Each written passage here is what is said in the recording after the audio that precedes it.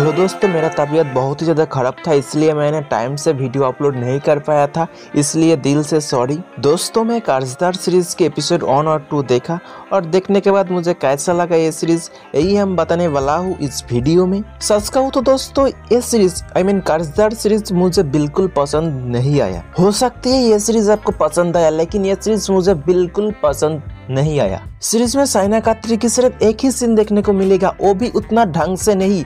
ऐसा तैसा करके निपटाया है वो सीन और आखिर में एक नहाने की सीन है, वो भी उतना अच्छा नहीं है। सीरीज़ में जयश्री गायकवाड़ और दीपक दत्त शर्मा के बीच एक अच्छा खासा सीन देखने को मिला है, वही सीन सबसे ज़्यादा बेस्ट लगा इस सीरीज़ में। सीरीज़ में देखने वाली और एक न्यू एक्ट्रेस संजना, जिसको सीरीज़ में एक नौकरानी के रोल में दिखाई है, उसकी दो सीन दिखाई है, वो सीन अच्छा है ठीक ठाक है। और सीरीज़ की जो स्टोरी और वो तो पहरदार सीरीज़ की ही कॉपी है, वो तो देखने से ही पता चल जाती है। अगर सिर्फ़ स्टोरी सिमिलर होता तो हो सकती थी कि मैं इस तरह से वीडियो में नहीं बोलता, लेकिन सिर्फ़ स्टोरी ही नहीं, बहुत सारा सीन है जो A to Z frame by frame copy है। सीरीज़ आपको कैसा लगा ये मुझे कमेंट करके ज़रूर बताना, और वीडियो अच्छा लगे तो वीडियो को लाइक करना चैनल को भी ज़रूर सब्सक्राइब करके बेलाइकन को भी प्रेस कर देना। मिलते हैं नेक्स्ट कोई वीडियो पे टेक केयर टाटा बाय